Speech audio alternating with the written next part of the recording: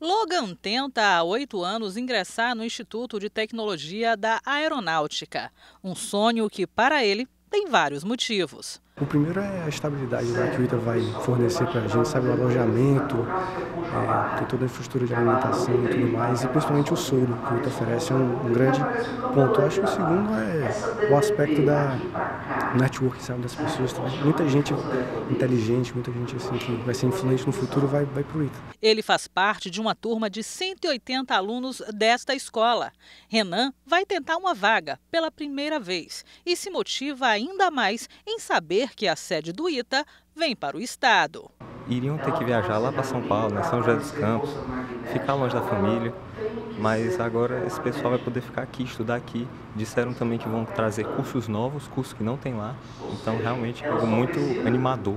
Hoje, cerca de 10 mil alunos de todo o Brasil tentam uma das 150 vagas disponíveis. Renato, professor desta turma, é engenheiro eletrônico formado pelo Instituto. Ele nos conta que o nível dos alunos é elevado e que a dedicação aos estudos é essencial. A preparação para o vestibular do ITA, ela requer que você aumente a carga horária, aumente o nível da preparação, mas você precisa realmente direcionar para os conteúdos muito específicos dessa prova. Né?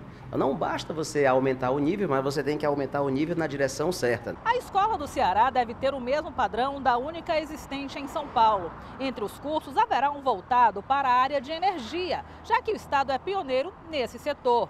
E a outra vantagem da instalação aqui na nossa cidade é que os profissionais preparados devem ter a mão de obra absorvida pelo mercado local. Com o campus do ITA aqui em Fortaleza, né?